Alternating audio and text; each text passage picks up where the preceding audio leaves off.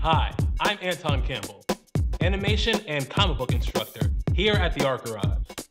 The Art Garage is a school, art gallery, and music space located here at 211 Glenridge Avenue, Montclair, New Jersey. Now, what I'll be doing is going through an overview of what we'll see in my character design for comic books and animation class. Let's take a look. First, let's jot down the figure. In my class, what we'll be doing is learning how to create the figure using very basic shapes.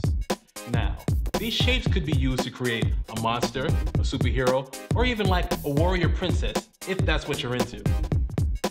After creating our character, we'll dig into their personalities, using various expressions.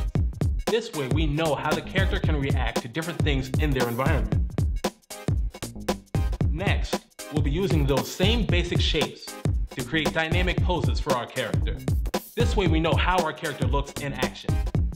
Finally, we'll take that character and put the finishing touches on it.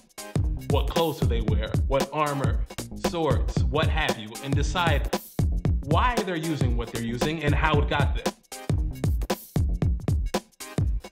In our next video, we'll be taking a sneak peek at taking our characters and putting it in to our selected comic book or animation project. Visit us at www.artgaragenj.com to take a closer look at the course. I'm Anton Campbell, signing off at the Art Garage. Take care.